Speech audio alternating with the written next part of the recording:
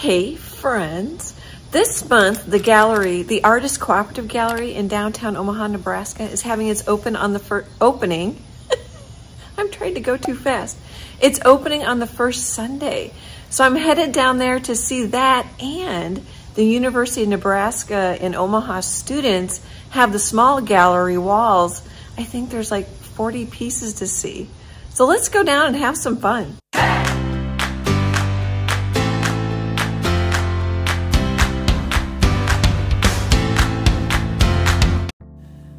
So just a couple of quick shots of me heading downtown. That's the Orpheum Theater. I don't know if I've shown that before. And we're already at the gallery. That was fast. Hey, there's a lot of people downtown. So I think I'm gonna video my um, spot first in the gallery, see which paintings of mine are up. And then I'm gonna video all of the college students work because then they might like that. I don't know, they might like it. So let's go inside and see what's going on. Okay, I'm walking up to my spot this month. It's September 2022 as I'm videoing this. There isn't a bad spot in this gallery. It's a nice big space, great lighting. Really should go see it if you're in Omaha. I love this barn painting. That was all palette knife painted. Some, some of my animals.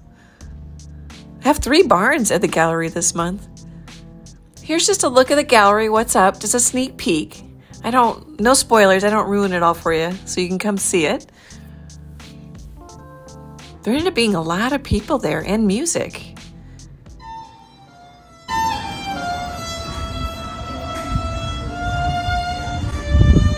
Oh, here's the uh, UNO students. They're all, all their art is on the wall.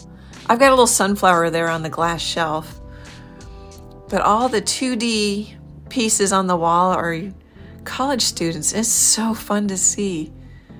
Amazing work. Oh, and I've got quite a few ornaments over here on a pedestal. That's fun. That's a new spot for me. Looks like I need to kind of straighten them so you can see them better. More student work. And then there's a back wall where they put quite a few pieces. Sometimes this is the high school art wall too. I think it's been really fun for our gallery to host this. We, we need to do this every year. Amazing, amazing work. Lots of variety. If you're a UNO student, thank you for showing at our gallery. We just love it. You guys are awesome.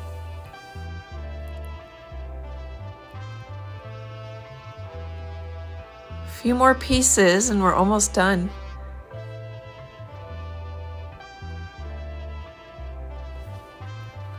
Okay, and then I got to show you Trouble 5.0 outside in the entryway. Hey, that was really fun. I didn't video that many people in the gallery because they don't like it when they see me video, but there's a bunch of people in there. The, the University of Nebraska, Omaha art students are super excited. It's just really fun.